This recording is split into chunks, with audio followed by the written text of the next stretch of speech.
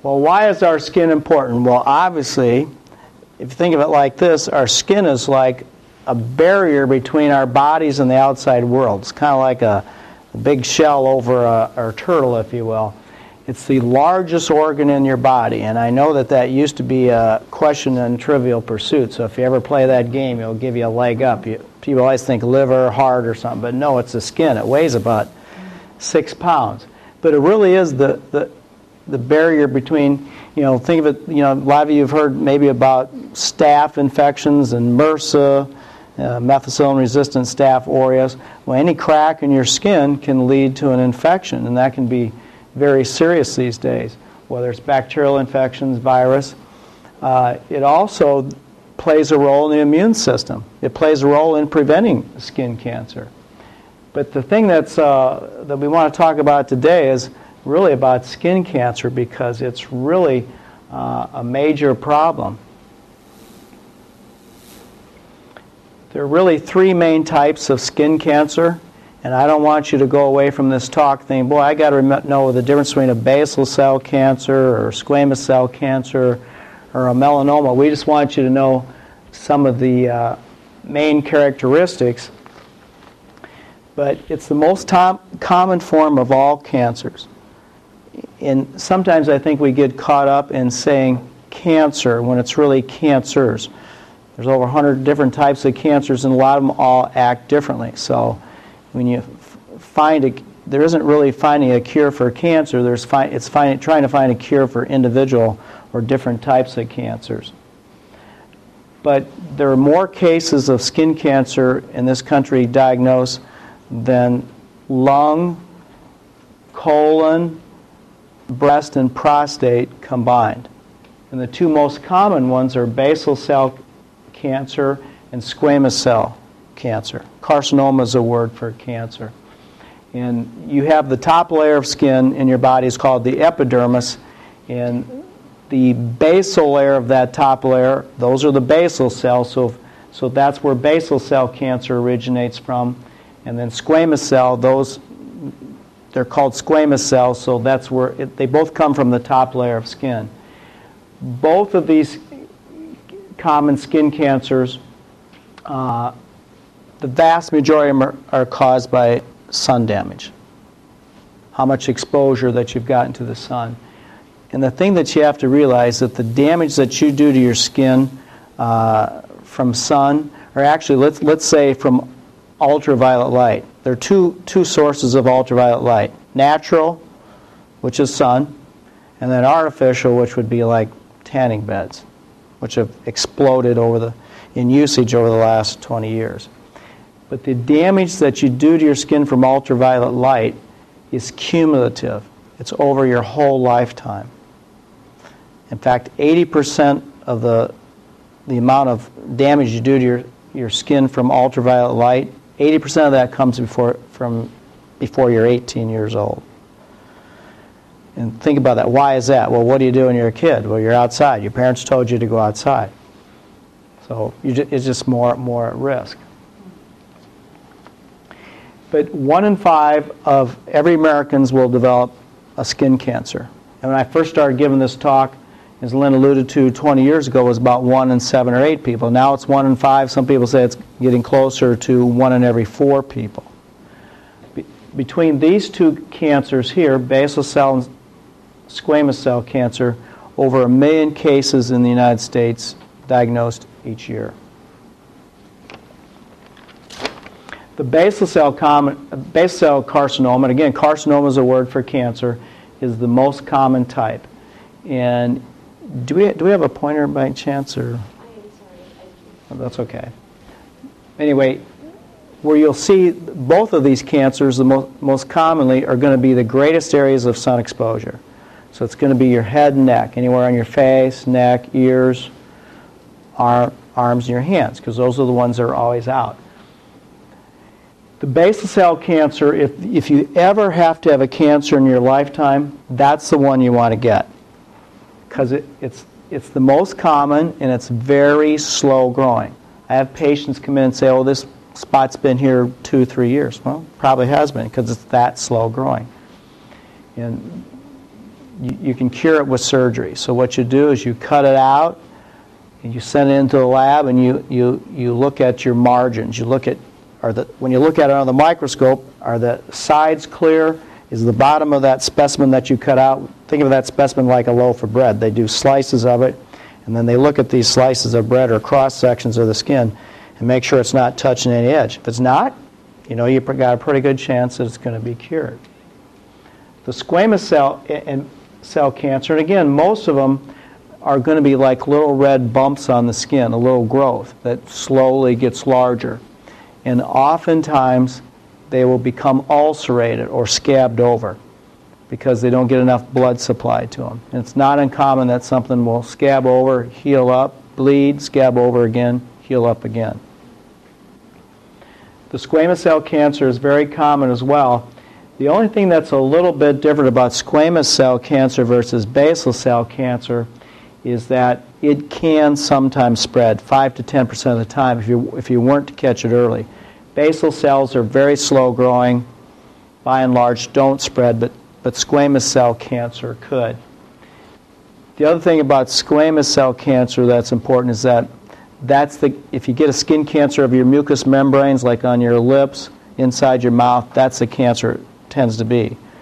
So not only is sunlight a major risk factor, but uh, tobacco usage would be a major risk factor for squamous cell cancer too.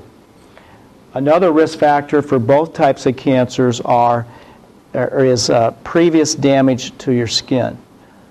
So, like a, a burn, you know, a chronic burn scar, or exposure to chemicals over years, especially arsenic, which is not around much anymore, fortunately. But radiation, you know, radiation is, is used to treat bad cells, but it can affect good cells. So, uh, let's say you had like radiation for a thyroid cancer. Well, it killed the thyroid cancer, but it also damaged the good cells, so you'd be more at risk for these two types of cancers. But by and large, the treatment is surgery. You catch it early, you cut it out, look at it on the microscope, make sure you're all clear. And then occasionally, like I said, squamous cell cancer might spread, and then you might need chemotherapy or again radiation for that.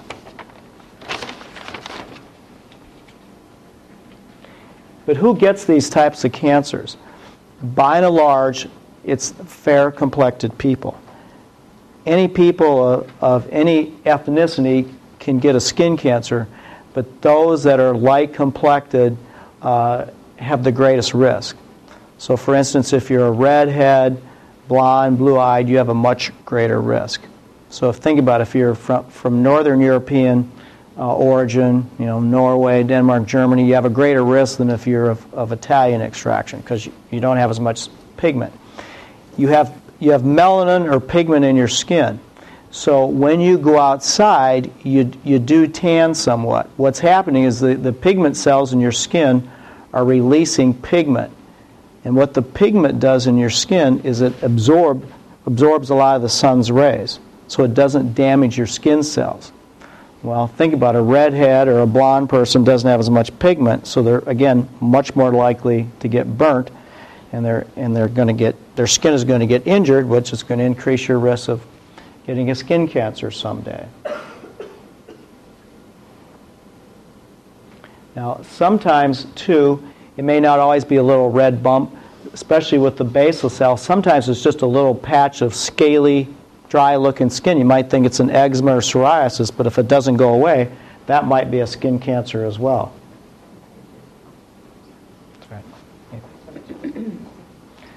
Now, melanoma is the least common of all skin cancers, but it's potentially the most deadly. Some, some lay people might call it a, a mole cancer because oftentimes they, they arise from an existing mole, but they can also arise just from previously what seemed like normal skin, too. They don't have to arise from a mole. But it's estimated that there will be, you know, close to 69,000 cases, new cases in 2009. So contrast that with basal cell and squamous cell, over a million cases. This is relatively rare. It's about 5% of all skin cancers. But when, again, when I gave this talk about 10 years ago, we were saying that there were about 39 or 40,000 new cases a year. So it's, it's increasing dramatically. It's, uh, in fact, I remember one uh, statistic from several years ago, I think it's between 85 and 95, the, the number of cases to be expected of melanoma in a year had doubled from the, over the previous 10 years, whereas the population of the United States only grew by 10%. So you couldn't explain it just by population alone. So again, it's a, it's a real, real problem. Again, it, it, most, it can spread to other parts of your body if you don't catch it in time. And it is the most serious type of skin cancer. Between 11 and 12,000 deaths each year. So it accounts for uh, most of the deaths of skin cancer from melanoma. And one in seven patients who get melanoma will be expected to die of their disease. And like I said, the risk is rising dramatically. So again, there's just it shows you the 5% is the number of cases of melanoma each year. The non-melanoma cases make up the rest. But if you look, look at the deaths, again, squamous cell can spread to other parts of your body, could potentially be fatal. Certainly, so can melanoma. So, 73 quarters of the cases of deaths from skin cancer can be due to melanoma. Yes? Question? Melanoma can spread. Is that internal or external? I mean, it's like if you touch it, it can grow in another spot, or it can carry it in the bloodstream inside your body internally. It's probably more from local spread and from, from the bloodstream carrying the most likely the bloodstream carrying cells elsewhere, which is what you call metastasis or metastasize. No, you can't touch it here and spread it there. And another misconception is that, well, if you take a little piece of a melanoma without cutting the whole thing out, say if you were to do a biopsy, some patients come in and ask, is that going to make it spread? No. Another question. Is the cause for death because it's just not recognized for what it is, or, or the treatment modalities not? Um... The question is, is, is, the, is the death because the treatment modalities aren't good enough, or is it not recognized? Well, probably both. If you don't, if you don't catch it early enough, as we'll sh- show you later, you, melanomas are potentially all 100% curable if you catch them early. That you know, but, but again, you got to be able to recognize it. The patient does, the physician does. But if it does spread, well, then it's like any cancer. It keeps multiplying, multiplying. We do have treatments for it to keep it at bay, but there's no cure for it once it spreads elsewhere. This is a good slide here. Here's the, the bottom left is the, the lifetime, your uh, of individual person's lifetime risk of developing melanoma in the United States. In 1935, one in every 1,500 people could be expected to develop melanoma. In the year 2000, the risk was 1 in 74. Well, 2009, it's closer now to 1 in 60. So you can see that why we're saying that risk is rising dramatically.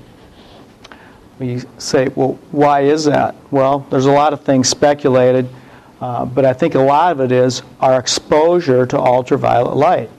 Think about it, in 1935, it was considered, well, if you worked outside and you were very, very tan, maybe you weren't of a higher socioeconomic class, and that's what you had to do to make a living. The uh, upper crust of society thought it was looked a lot better not to be tan, and they, they weren't out. Well, think about it, over the last 20, 30, 40 years, what do we do? We take our vacation, we travel much more. We take our vacations to Hawaii, the Caribbean, Florida. We have tanning beds now. People, people are thinking that a tan looks healthy. It's not. So you know, it's just it's just your it's just your uh, habits have changed dramatically. Now you can argue about the ozone layer. I don't know about that. I mean, is it is it decreasing? Is it making the sun more harmful? Don't I, I don't know about that. Maybe it's a factor maybe not. So, what does uh, a melanoma look like? This here is, is uh, it's kind of, sometimes it's hard, but this here is what, if you see the base of this, there's a little, um, there's a little light spot. It's kind of a little small area of pigment. Now you've got this big bump or growth coming out of it. Is that flat or raised? That's raised. It's, a, it's like a bump, so it's raised. And then this is something, if you look here, it's, what we're going to show you later in some slides. It's kind of, when you look at moles, whether they're normal or not, it's kind of the, the rule of A, B, C, and D. Well, A is asymmetry. We, the first one was the A, the asymmetry, had this little uh, patch of pigment or mole with this bump or nodule coming out of it. This slide shows you two things. See how the border around the outside is very irregular? And then the other thing is the color here is very variable. There's, there's like red, white, dark brown, black, and even shades of blue. So it's a very, di- very different colors versus a, a normal mole would be nice, one even color. Again, here, here's just a, uh, shows you asymmetry. There's the underlying mole. There's the melanoma, the, the, the bump coming out of it. So, uh, and then see how dark it is. It's kind of a bluish black. Now remember also what I told you, the, the most common sites of where you see your, your most common skin cancers, basal cell and squamous cell cancer. Greatest areas, you can, get, you can see it anywhere in the body, but the greatest areas of sun exposure. So head, neck, upper extremities. There's another one there that shows you a very dark and kind of uneven color. There's one on the finger. You can see that little dark spot is very first of all it's very black and then it's got a a bump coming out of it right there. The most common location for melan- melanoma in men and women is the back. The second most common location for melanoma if you're a man is the, is the anterior part of your trunk, chest and back. The second most common location for melanoma in women, and some would argue it's the most common location, is the legs. Okay. Why is that? Well, okay, it's probably where you get these areas of limited but sometimes intense sun exposure. You may be in and out, in and out various times during the week, in the weekend, get a lot of sun on your face and arms. But maybe on the weekend or when you go on that vacation, you get a lot more sun on your back, your chest, and your legs, and oftentimes get a sunburn. Sometimes you, they can occur under fingernails. And so you'll see this darkness under a fingernail, and, see, and then you can see the pigment kind of leaching out onto the, what we call the nail fold or the finger there. So, so again, these can occur on any part of your body. Doctor, I have a question. Yes. Will that grow out and come in nice summertime? Or will it remain that way? till you do something? Well, you, you'll end up. You'll. The question is, will will the will the cancer grow out? Well, you'll you'll end, you'll have to cut off the end of the finger. You'll lo- you'll lose a good share of your finger if that's if that's if you get diagnosed with that. So it won't grow out by itself, no. And if you leave it, it'll obviously spread. Again, another person's finger. You can see that dark irregular spot.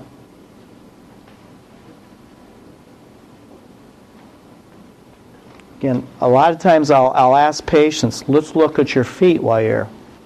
"Well, Why would you want to look at my feet, doctor? I said, well, what's your feet covered by? Socks, shoes, and no, it's covered by skin. So, you know, you so you should look between your toes, look at the bottom of your feet. See that dark, dark thing there on the bottom of that patient's foot? Now, how can that be? I mean, that's not sun exposure. The question is, how can that be? Because it's not sun exposure.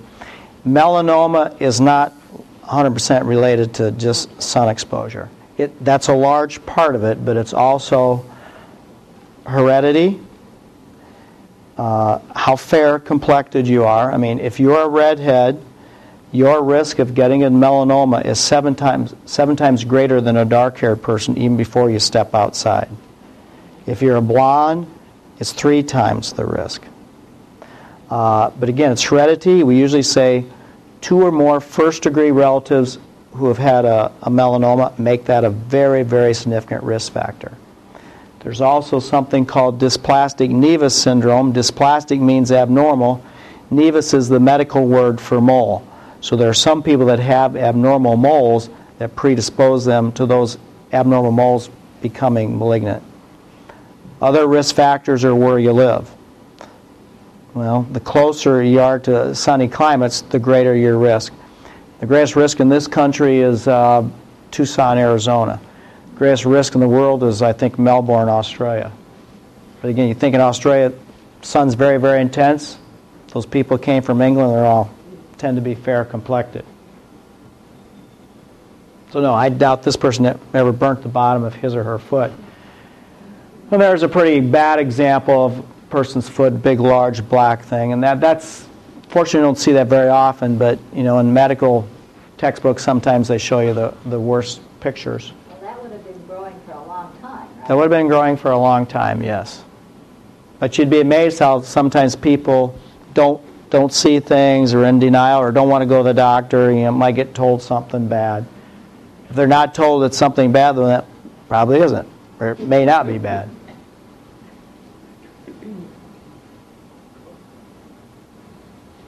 Okay, again, just uh, another example of a nod- nodular lesion. This one's actually a little bit reddish on the surface, so some of them, they don't always look uh, black and uh, blue. That's got hair growing around, and I think that's on an arm. But it could be in a scalp. And that's the other thing. When you try, try to look at your body, I mean, it's, it's difficult to see in your scalp, you know. So I oftentimes tell women and men too, if, if they've, they're predisposed to having skin cancers or they've had skin cancers before, tell your hairstylist or your barber, hey, look at, look at the skin of my head. And I've had a lot of patients sent to me because of uh, their bar- barbers or hairstylists notice something. What's that old commercial? What was that from? Only your hairstylist knows for sure? Alberto VO5?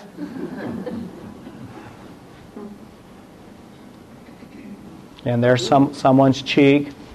Um, now, and this this person probably had not my patient, but probably had this kind of dark spot here for a lot of years and ignored it. It was probably kind of a low grade melanoma, and then became much much worse, and you saw that black outgrowth there.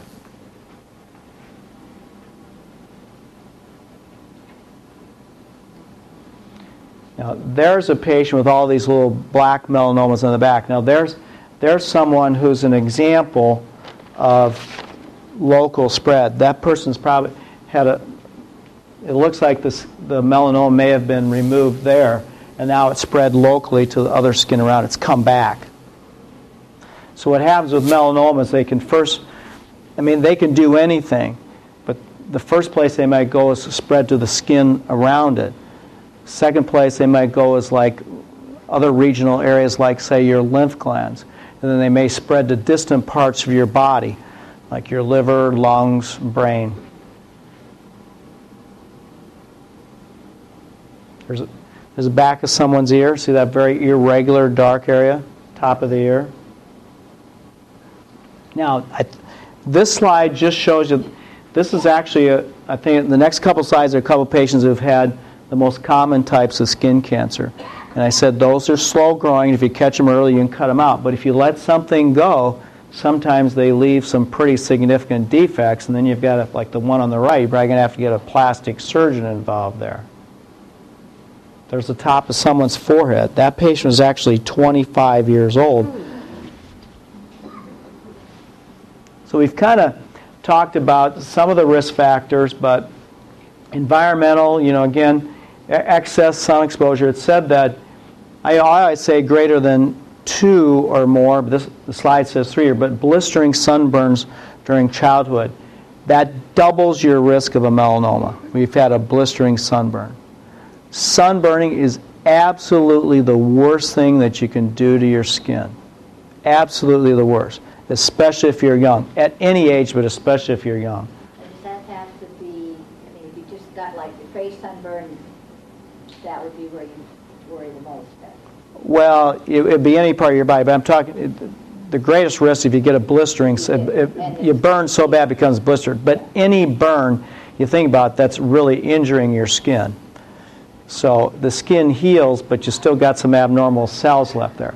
The next thing says actinic keratosis. What that means, that, that's a term for a pre-cancer, these little red scaly things. Another slide, I've got some little slides of that, but these little red scaly things that people get on their face and ears, and they, they have about a 10% chance of someday becoming a skin cancer. So if you have a lot of those, um, that pre- makes you more at risk. Exposure to ultraviolet radiation, we've talked about.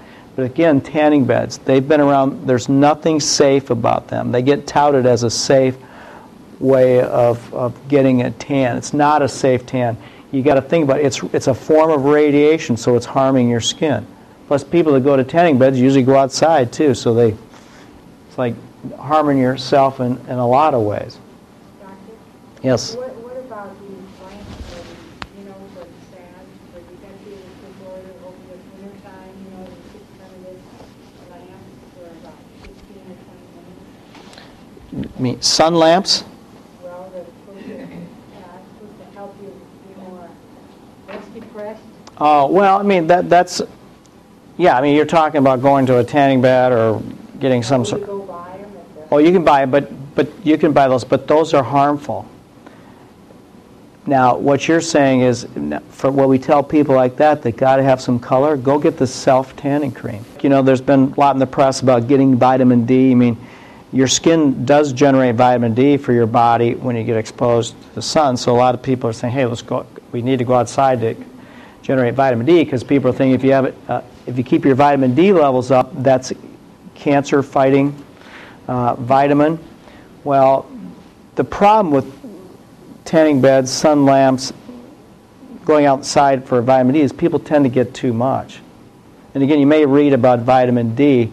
You know, the, the position of the American Academy of Dermatology is that there's a lot of other sources for vitamin D diet and, and supplemental vitamin D and calcium. If you go out like for just ten minutes, a couple times a week, is that enough vitamin D?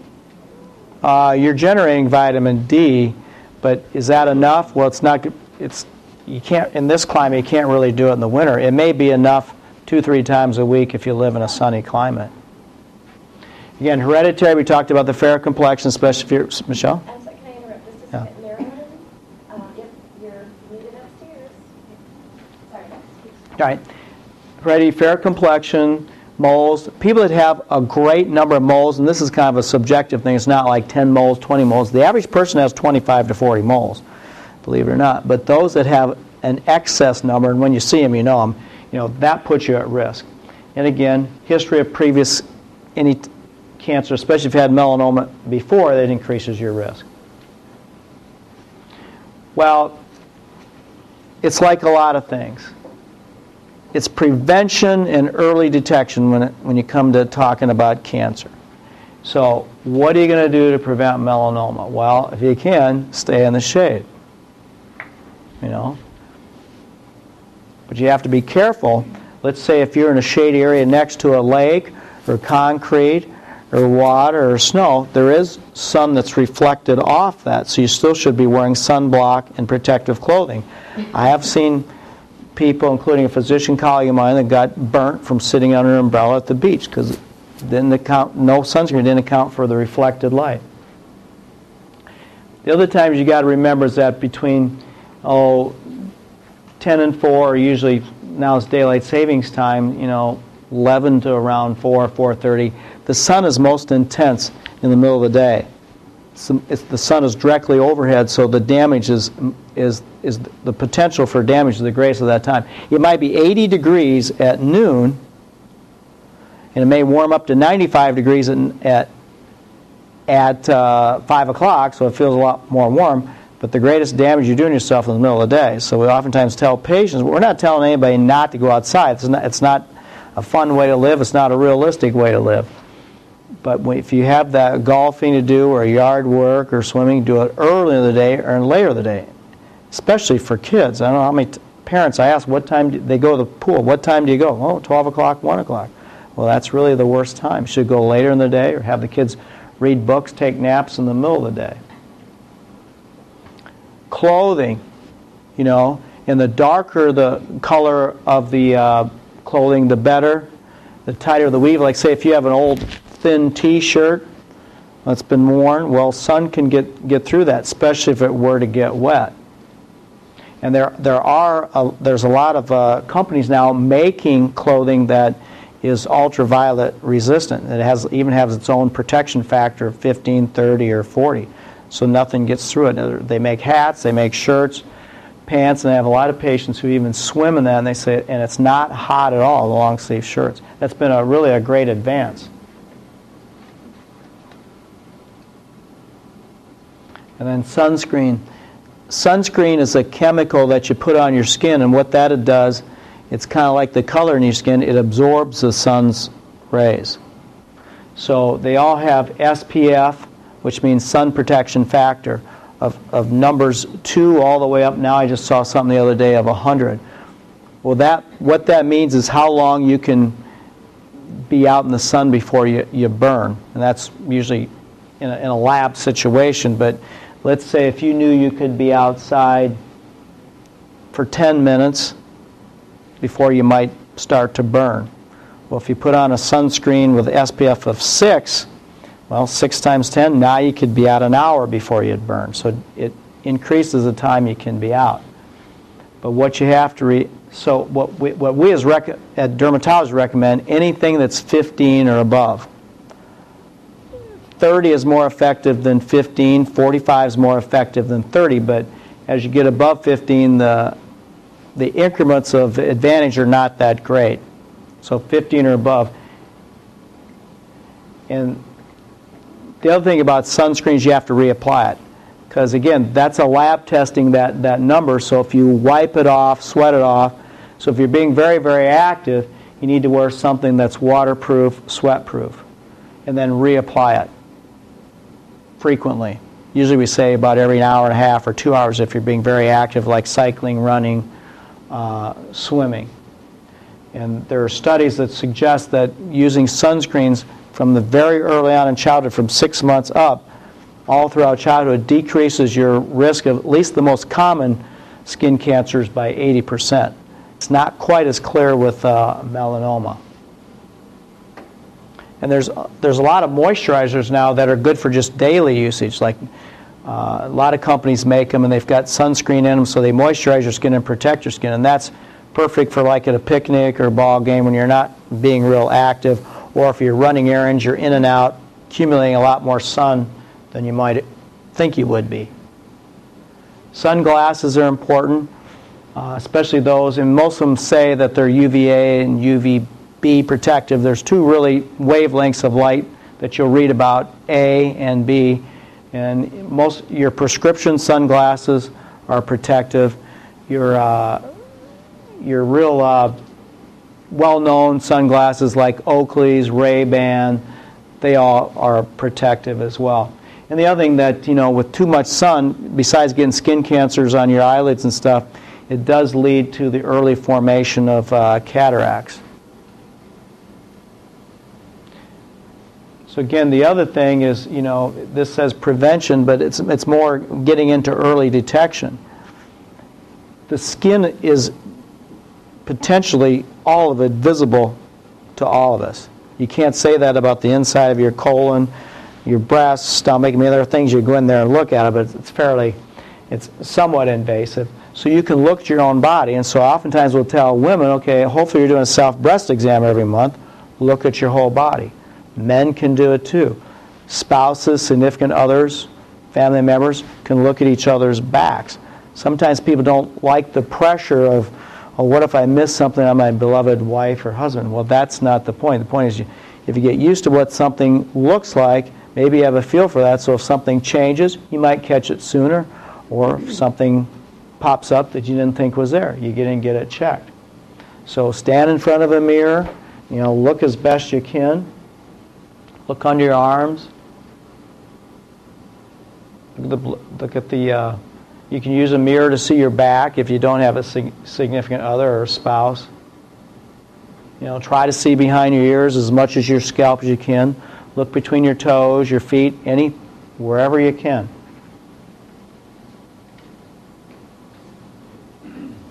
Again, this goes back to our ABCDs. A is for asymmetry, so the, this is more about moles, but if you have a, a mole, they should be flat with the skin, or if they're raised, they should be nice and smooth. The border around the outside should be smooth. Color, you like to see something that's one even color, preferably very light brown or flesh colored. D is for diameter. Usually they say that you anything greater than the, head, the size of a head of a pencil eraser should cause have cause for alarm. But I also use that for anything that grows or changes. What Now- about those of us who have these things that grow all the time, the keratosis, I can't remember. But, you know, they're, they're flat and they're, sometimes you can peel them off and um, it's hard to know what you're dealing with. The question is, what about these keratosis, these little dark things that some people call age spots? Uh, they're these they're, the, they're these kind of warty-like things, Yes. and sometimes you can scratch them off or rub them off. That can be very, uh, it can be hard to know. Okay. The vast majority of them have no cancer potential at all, and, and they we all get them as we get older. It's just a function of aging. We don't know why, but sometimes they can be very confusing, and that's where you know sometimes a baseline skin exam by a professional can help you recognize what those are, hopefully. E is for evolution. How, how do they change again? And we'll just go through these quick because we showed you some pictures. There's a nice smooth mole on the left. Uh, see, there's a bump coming out of those. Regular borders, again, even color, smooth border. See how those are kind of regular, especially the one on the left that's kind of chopped up around the outside. Color, consistent versus variable, and dark brown, black, blue, shades of that. And something that's, those are all quite large on the right. This is just, this is just an example of how a mole changes. See how it's, as you go from left to right. It's a little bit subtle, but it's getting a little bit darker and irregular. So again, you want to prevent it rather than treat it. You know, again, if you catch melanomas early, you got a great chance of, uh, uh, of 100% cure. Uh, if they spread locally, it's about 98% chance. If they spread to other parts of your body, you got about a 15% chance of surviving it. Again, we talked about doing the regular skin exams. If you find something unusual or suspicious, see a physician, uh, either your physician or a specialist in skin, like a dermatologist. And this is Michelle's slide, I believe that she got, was it from the Oprah show or Oprah magazine? Oprah magazine. The only real protection, there's a guy in armor, well, that's got an SPF of 1,000. Nothing's getting through that. And then another good one, I've seen this before. Maybe the next time you'll try a little sunscreen, a little plump pig on the left and a piece of bacon on the, the right. Okay, that's a lot of information in a short amount of time. I hope I've been able to kind of give you a sense of the significance of skin cancer, uh, also what some of these three main types of skin cancers look like, what you should be suspicious of, and also give you a, a sense of how to protect yourself from the sun, and then also how to detect, detect things early.